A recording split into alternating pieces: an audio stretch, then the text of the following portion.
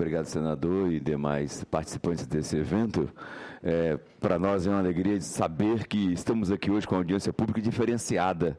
É, a audiência pública de hoje ela tem como primeiro objetivo avaliar as práticas, avaliar as boas práticas. Segundo objetivo, celebrar. E aí, o pessoal levantando o, todo o estatuto, lembrando que estamos celebrando essas boas práticas, que é a vitória dessa causa. E terceiro, avançar. Portanto, avaliar as práticas. Aqui ouvimos boas práticas, eh, com destaque especial para o Rio Grande do Sul. É, celebrar, estamos celebrando, portanto, com alegria, mas, no entanto, queremos avançar. E, e esse avanço é que cabe agora a nós trabalharmos. Este avanço, senador, é, começou ontem com uma, com uma tensão bastante delicada, quando aqui no Senado, essa casa organizava um debate sobre a questão do programa Ciência Sem Fronteiras, onde o programa vai beneficiar 100 mil brasileiros com bolsas é, para fora do país, em graduação, mestrado e doutorado, e já as 11 mil pessoas brasileiras já escolhidas e enviadas para os Estados Unidos, Canadá, etc. e tal, com essas bolsas, nem 1% são negras. Portanto, Dilma, parabéns por políticas novas. Dilma, por favor, políticas novas, atitudes novas. Não queremos políticas novas com vícios velhos.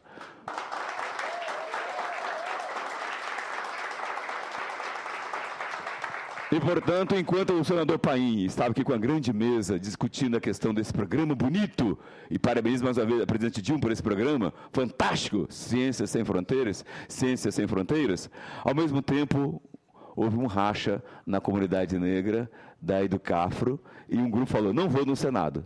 Não vou no Senado porque a gente já teve várias reuniões, várias audiência pública, vários encontros, vários, vários seminários e nada avançou. Nós vamos fazer uma greve de fome no Palácio Planalto.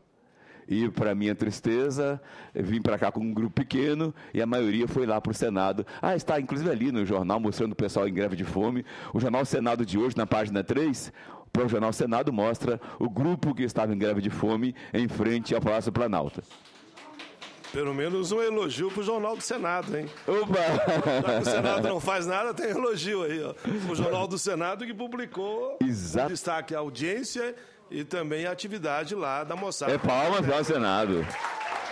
Que outros jornais não publicaram. Exatamente. Portanto, é para nós, é, é, esse, é, esta greve é, de fome tinha três pautas, e eu passo aqui para a mesa as três pautas da greve de fome. Primeira pauta, portanto, é que o governo, que o governo federal, através do presidente em exercício, ouvisse o clamor do povo negro com referência ao programa Ciência Sem Fronteiras. Segundo, segunda pauta, que o governo federal criasse cotas para negro no serviço público.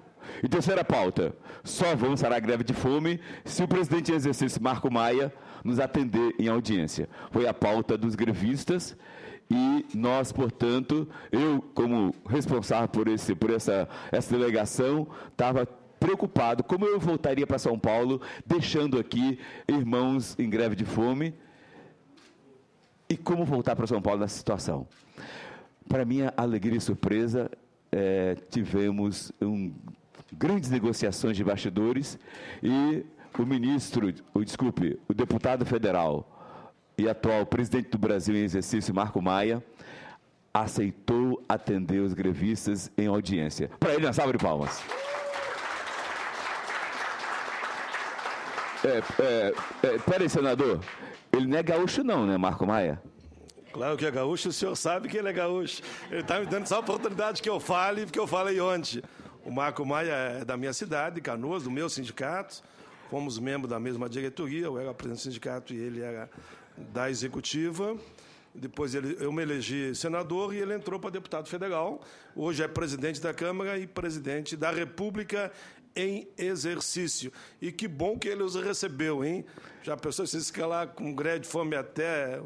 Eu já fiz greve de fome de três dias aqui, na luta do salário mínimo. Eu sei o que é uma greve de fome. E essa greve de fome foi interrompida antes do meio-dia, se eu não me engano. Isso é para descontrair. E aí é uma salva de palmas lá com Maia. Eu quero ver vocês ficar com três dias comigo em greve de fome ainda.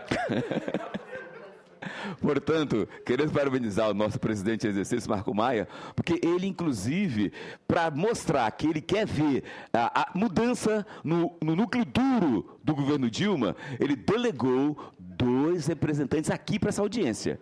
Eles estão aqui entre nós e eu vou lá usar, pedir que se apresente os representantes do governo federal. Opa,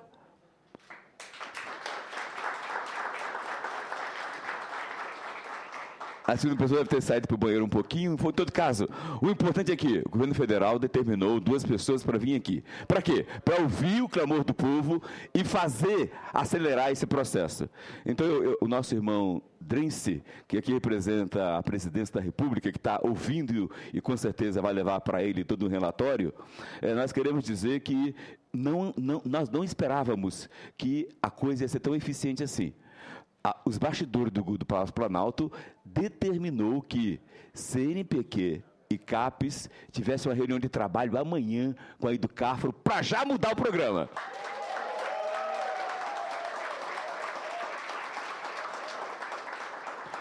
E, portanto, já temos esta, esse fato concreto aí, avançando, e, e, eles querem, querem saber onde, onde, qual é o local é Casa Civil?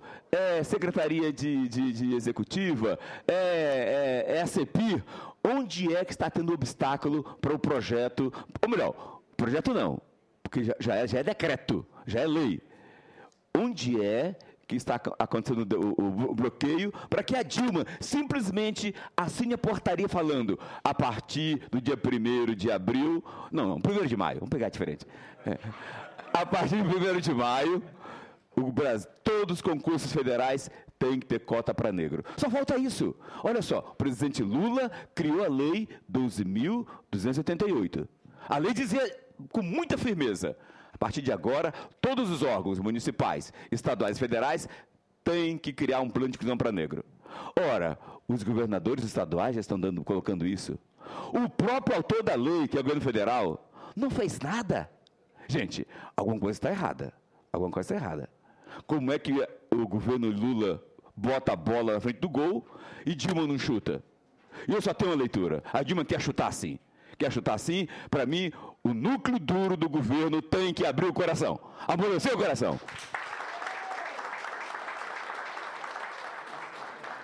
E aí, e aí, governador? Ah, é mesmo? Ah. É. Dado para não demitir o Maitodoro. não, ele quis dizer que o governo tem que fazer gol a favor e vai fazer. Temos certeza disso, né, Mário? Vai no Mário vai fazer. Senador. Enquanto a nossa querida Dilma é, não volta ao Brasil e, e, Ah, bom, eu vou, eu vou quebrar o protocolo e revelar um fato. E eu espero que o assessor do presidente, da presidência, não me, não me, não me dedue, não, não me crie uma situação que é o seguinte. Durante a nossa audiência, bom, o presidente em exercício atendeu a delegação. Durante a audiência, ele nos comunicou que telefonou para Dilma. E Dilma falou: olha, queremos rever isso daí urgente. Então, ou seja, para nós, voltou para voltou para trave, para o gol e a bola, viu? Só falta o chute. Mas enquanto, enquanto o chute não vem, eu pediria ao presidente dessa sessão que fizesse para a comunidade negra um favor fantástico. Eu confesso que há muito tempo eu não vejo um parecer tão bem elaborado como esse do governo do Rio Grande do Sul. E eu pergunto ao presidente dessa comissão se é possível essa comissão pegar esse parecer e enviar para todos os governadores do Brasil que não adotaram cotas e enviar também para o Conselho Nacional dos Municípios. Acho que dá para fazer um pouco mais. Eu gostei muito do Gaúcho, não sem nenhum barrismo, meu amigo, pela exposição que ele fez aqui, mas gostei também da exposição da doutora Gleice. Eu vou pedir que se transforme numa separata a exposição de ambos. Aí vamos remeter para todos. Opa! Tanto do Gaúcho, como também da doutora Cleide, ok? E aí, eu, eu, vou mais uma vez revelar segredos da reunião com o presidente em exercício, porque durante o debate e a conversa, que foi muito boa, franca e sincera, ele, ele cobrou de nós. Espera aí, e o projeto 180? Como é que está isso? Assessoria, como é que está esse projeto? A assessoria falou, olha, presidente, está na CCJ do Senado. parado. Aí ele falou, não, não, não. Então, pedimos a ele que ele, o que ele podia fazer por nós. Disse, Frei Davi, vou telefonar. Ele falou, hein? Portanto, foi a fala do, falou, foi uma fala pública, e lá a televisão filmou e tudo mais. Ele falou que ia telefonar para o senador Eunício de Oliveira, que é o presidente do CCJ, para ele trabalhar fazer todo o esforço possível. Senador Eunício, o senhor está nos ouvindo aí, assessoria do senador Eunício, aí no seu gabinete está nos ouvindo, faça, por favor, o que pediu o presidente em exercício Marco Maia. Ele pediu que o senador Eunício faça um estudo para trabalhar o regimento do Senado e colocar ainda em votação, amanhã, quarta-feira, na CCJ, esse projeto de cotas em votação. Merecemos o quê? Então, o presidente em exercício, Marco Maia, falou que iria telefonar para o Início e pedir isso a ele. Então, meu irmão senador Início, seja irmão da comunidade negra, prove que o senhor é amigo do povo negro e que é um Brasil mais diversificado, mais igual. Faça isso que o presidente da República pediu a você. Também, o nosso presidente em exercício, Marco Maia, se comprometeu em telefonar para o senador Sarney. Como presidente dessa casa do Senado, o senador Sarney o que fazer de estratégia para dar ao povo negro dignidade? Senador Sarney, o senhor tem consciência, o senhor foi um dos primeiros autores de uma lei de cotas no Brasil. Senador Sarney foi um dos primeiros autores de cotas no Brasil, de lei. A lei dele evoluiu e chegou ao projeto 180. O 180 tem também a mão do Sarney. É, eu quero que vocês entendam isso daí. E, e, e para nós é importante, então, que o senador Sarney é, veja como ele pode dar uma força, telefonando para o senador Eunício, e vê aí o regulamento interno e bote em votação mesmo amanhã, na CCJ, essa lei 180-2008.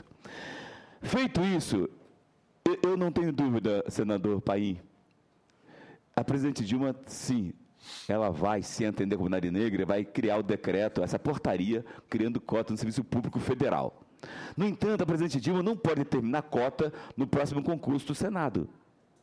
E aí, eu não tenho dúvida, senador Paim, mas senadores irmãos da causa, vamos ter uma audiência com o senador Sarney, já para fazer uma portaria interna para o próximo concurso do Senado ter cota para negro. Ou não convém?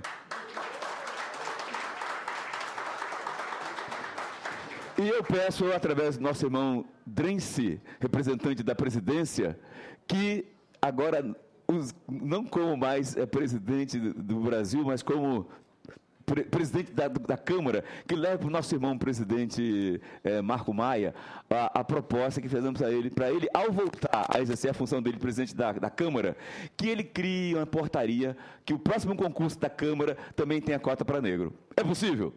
Levar para ele? Levar para ele só isso, é possível? Só levar para ele. Pronto, pronto, ok, falou que sim, falou que sim. Vamos adiante, vamos adiante.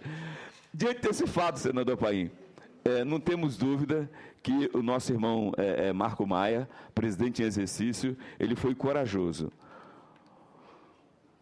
E ele, no, ao dizer do conteúdo, para mim ser até um pouco mais, mais fiel ao que ele falou e não ter má interpretação, o deputado, o presidente Marco Maia, disse que a presidenta, a presidenta possui simpatia em relação às cotas do serviço público. Foi fala dele.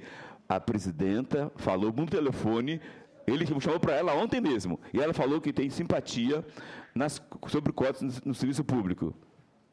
Portanto, queremos, portanto, é, deixar bem é, é, exemplificado para o Brasil inteiro, que está vendo TV Senado, que o Brasil está em, em vias de ser uma nação cada vez mais caminhando a passos largos para a verdadeira igualdade. Como falou o nosso irmão do PGE, uma coisa é igualdade formal, que é a igualdade mentirosa, ou beira mentira. Desculpe o pessoal jurista aí que trabalha com a igualdade formal. Eu, Frei Davi franciscano, acredito somente na igualdade material, que é um processo. E a Constituição, a Constituição brasileira, ela aponta nessa direção.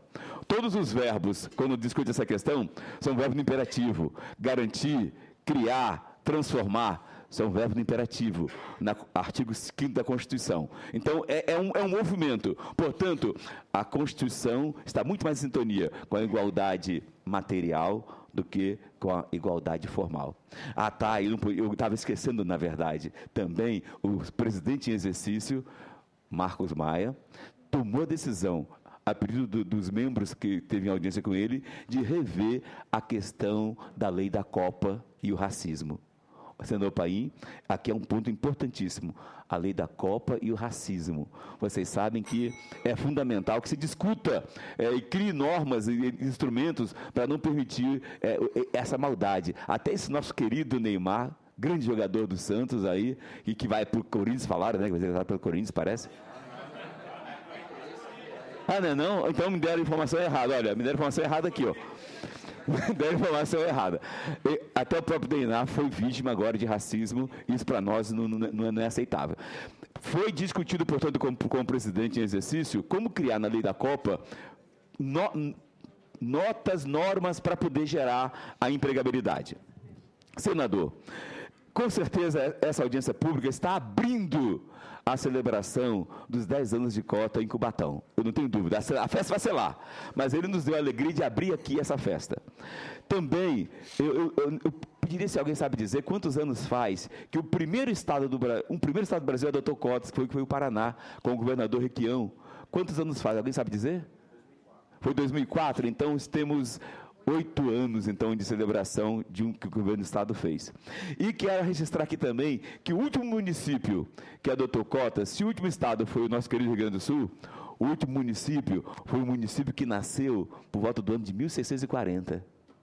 Qual o nome dele? Quissamã. Uma salva de palmas para Quissamã, por favor.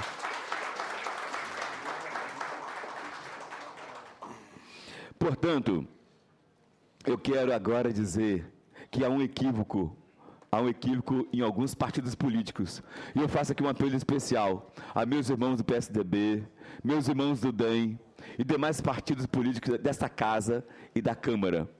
É crime de vocês, é um erro de avaliação de vocês, PSDB e demais irmãos, deixar que só partidos da base aliada ouça o apelo dos negros vocês, se criar essa ideia de que só partido baseado atende negro, a culpa é de vocês. PSDB, bem demais partidos. Porque vocês não estão criando cota para negro no serviço público, onde vocês estão, têm o poder na mão, nos municípios e no Estado. Isso, pessoal, eu estou falando mentira aqui? Então eu faço um apelo especial ao nosso irmão, governador Alckmin. Tivemos uma audiência com ele, e ele falou, Frei Davi, eu quero mandar a minha assessoria estudar urgente isto, que eu quero adotar cota para negro no serviço público. O quê? Não entendi. Ah, ah mais problema para mim, meu Deus. Então, governador Alckmin, meu irmão Alckmin, faça sim sua assessoria avançar. Seria tão bom que São Paulo, grande estado do Brasil, adotasse cotas. Para quem não sabe, São Paulo numericamente, é o maior estado negro do Brasil. Maior que Bahia, numericamente. Bahia tem um milhão e tantos mil negros. São Paulo tem mais de 4 milhões de negros. 4 milhões de negros. Então, São Paulo, que está nos ouvindo agora pelo Senado, e quem foi amigo do governador Alckmin. E vocês todos do PSDB, do DEM, por favor, não deixe criar essa ideia equivocada de que DEM, PSDB são insensíveis com população negra. Não deixe que essa ideia equivocada. Queremos sim que a questão do negro seja uma questão de todo partido político, de todos os segmentos da nação, porque o problema não pertence a ninguém, o problema é nacional. Governador Alckmin, por favor, nos ouça carinhosamente, sem entender mal. Senador